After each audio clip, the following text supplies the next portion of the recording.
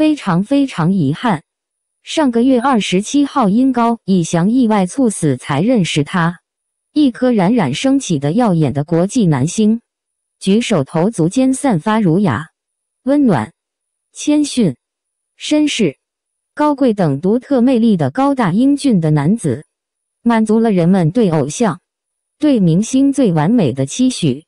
每天刷他主演的电视剧、各类采访节目、打篮球、日常生活等视频，更为他的人格魅力深深吸引折服，为他死气沉沉躺在冰冷的冰柜里被运回去而心痛不已。想到他的确已是消亡于这个世界，心脏就彷佛被重物猛地碾压般而窒息，真不想从他的世界里走出来。从不追星的我，真希望能在闲暇之余安静愉悦地欣赏他温暖的笑容、高贵的气质，那是一种放松和精神享受。但他的确是走了，的确没有再回来的可能性。那么，如果我们能学到他的人格和魅力所在，是不是就是对他最好的祭奠和缅怀呢？一认识差距。高以翔被大众所熟之后，纷纷感叹：“这才是一个明星该有的素养。”作为公众人物，他没有丝毫的绯闻与不良影响，更多的是带给大家无穷的正能量。这样集万千美好于一身的人，再难以从娱乐圈找到了。他旁佛一股清泉，把其他明星照成了路人。我们不知道，原来。大明星还可以对粉丝那么好，温暖的接过一个一个递过来的本子，签上自己的名字。距离远的，还会伸出大长手，把本子拿过来签好再递过去。和粉丝拍照，耐心的一个个拿起手机，还不忘矮下身，让镜头里的自己和粉丝保持在一个界面上。他在采访的时候说。因为有了粉丝的支持，才有今天的自己。所以，只要有粉丝要自己签名和自己拍照，都不会拒绝。反观我们大陆明星，出行前呼后拥，身边无不围住一群西装墨镜的保镖，粉丝还没近身就被拨了开来。我想，每个人都希望有一个自己的偶像。我从不追星。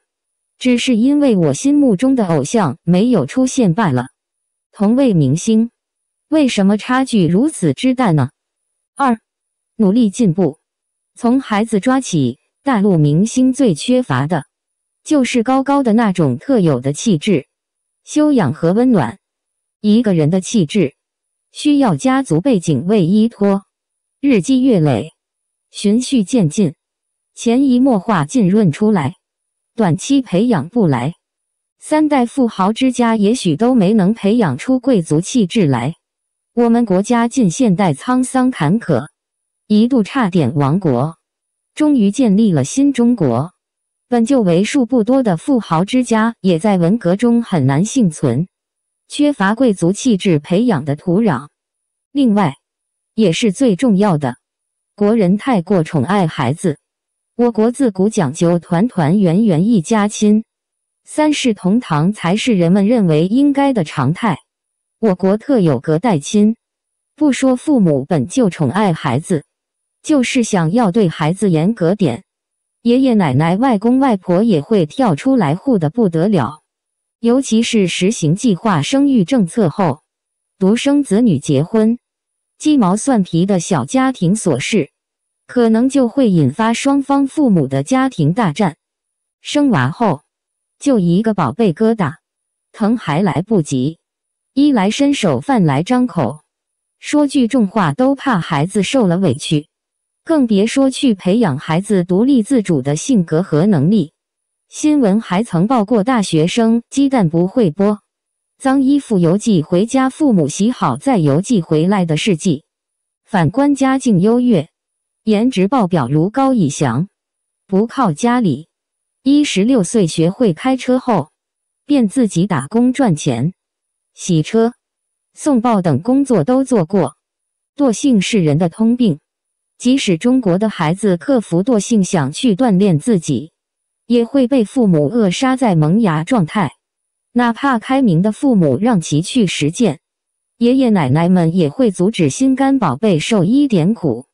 甚至有的父母直言：“我的孩子，我不要他那么辛苦，我就愿意养他一辈子，他一辈子不工作也可以。”我们应该眼光放长远，相信孩子的韧性和能力。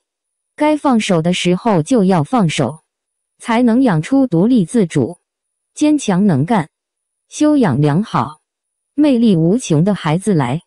三，从自我学起，做一个温暖的人。一个中国的媒体人、创业家曾说过几句话来概括今天的中国：中国就像一条长龙。它的头现在接触到了一流的高科技，但它的尾巴还在原始社会。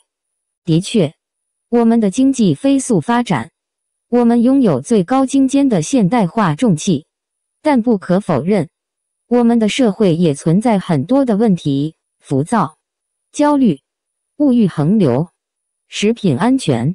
为了达到目的不择手段。高以翔走后，对我自身触动很大。我被他的气质和魅力所吸引，自然而然的，我会有意无意的学习他身上的美好。我没有他高贵的出生，没有他高大英俊的外在条件，但我可以学习他的温和、谦逊、自信、努力，还有真诚。在以后的时光里，希望能给予我身边的人一份温暖，希望我们每个人能学会他的温暖。并将温暖这个世界。四，学会拒绝。高以翔自己曾说过，不喜欢拒绝别人，害怕别人不开心。这一点和我非常像。明明自己不喜欢和到熟不熟的朋友一起吃饭，却因怕别人不开心而说不出拒绝。不知道聊什么，又怕别人尴尬而没话找话。明明自己对拼团的物品没有兴趣。却对朋友一再要求凑团的说辞说不出 no，累，真的累，身体累，心里更累。如果以翔不那么考虑别人感受，那么此刻这个阳光可爱的大男孩，或许还活蹦乱跳的朝我们露出温暖的微笑。我想此后我应该学会适时说 no。如果真正在意自己的人，不会让自己为难。如果不在意自己的人，为什么要牺牲自己去成全呢？